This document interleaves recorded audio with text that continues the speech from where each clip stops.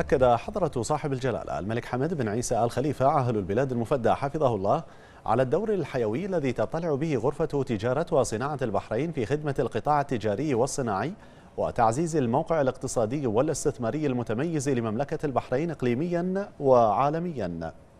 جاء ذلك خلال استقبال جلالة الملك المفدى في قصر الصافرية هذا اليوم مجلس إدارة غرفة تجارة وصناعة البحرين برئاسة السيد سمير عبد الله ناس وذلك بمناسبة تشكيل مجلس الإدارة الجديد. وهنأ جلالته رئيس وأعضاء المجلس على ثقة القطاع الصناعي والتجاري بهم متمنيا لهم كل التوفيق والسداد لخدمة المسيرة التجارية وتأكيد دور الغرفة الفاعل وشراكتها في عجلة التنمية والتطوير. ونوه جلالته بما شهدته انتخابات غرفة تجارة وصناعة البحرين من أداء راقي عكس عراقة هذه المؤسسة الوطنية ودورها التاريخي في النهضة الاقتصادية والتنموية. وأكد جلالته اعتزازه بغرفة التجارة والصناعة وأن انتخابات غرفة التجارة عريقة وسباقة في المنطقة منذ عقود طويلة. معربا عن شكره وتقديره لجهوده دو لجهودهم ودورهم لدعم مسيرة الوطن في مختلف المجالات الاقتصادية والتجارية. معربا عن اعتزازه بهذه النخبة المتميزة من التجار ورجال الأعمال من أبناء البحرين الذين أخذوا على عاتقهم خدمة هذا القطاع المهم وتطوير أدائه.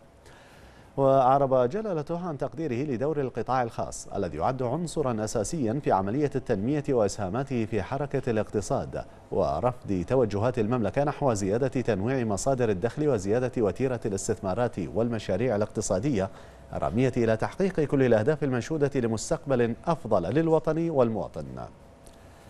وأكد جلالته دعمه للقطاع التجاري والاقتصادي ليواصل مساهماته الفاعلة في تعزيز الدور الريادي للاقتصاد البحريني الذي استطاع أن يحقق سمعة وثقة كبيرة في الأوساط الاقتصادية الأقليمية والعالمية بفضل تكاتف أبنائه ومحبتهم لوطنهم وعملهم المخلص لخدماته. وعقب المقابلة تقدم السيد سمير ناس رئيس غرفة تجارة وصناعة البحرين بالشكر الجزيل إلى مقام جلالة عاهل البلاد المفدى حفظه الله على رعاية ودعم جلالته للغرفة ولقطاع الأعمال البحريني ونهج جلالته في التواصل والحوار البناء مع أصحاب الأعمال بقطاعات التجارة والاقتصاد والاستثمار.